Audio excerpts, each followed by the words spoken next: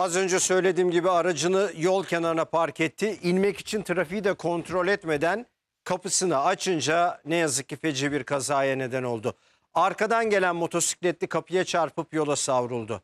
Başka bir aracın altında kalarak metrelerce sürüklenen motosikletli genç şimdi hastanede yaşam savaşı veriyor.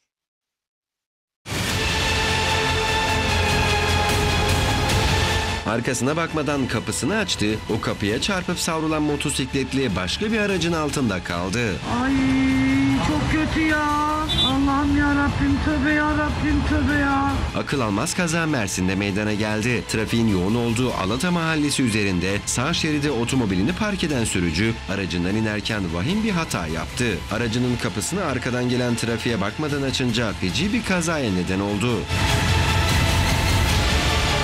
Motosikletli Hasan İpek hızla açılan o kapıya çarptı. Çarpmanın etkisiyle yola savrulan talihsiz genç arkadan gelen otomobilin altında kalıp metrelerce sürüklendi. Dehşet anları kameraya işte böyle yansıdı. Adam yerde yaralı ya.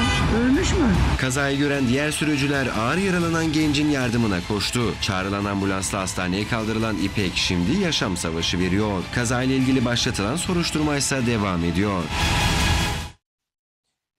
Allah şifasını versin. Umarım bir an önce sağlığına kavuşur diyelim.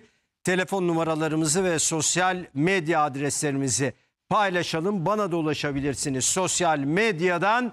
Yarın akşam umuyorum çok daha güzel haberlerle yine Beyaz TV ana haberde buluşuruz. İyi akşamlar, iyi haftalar.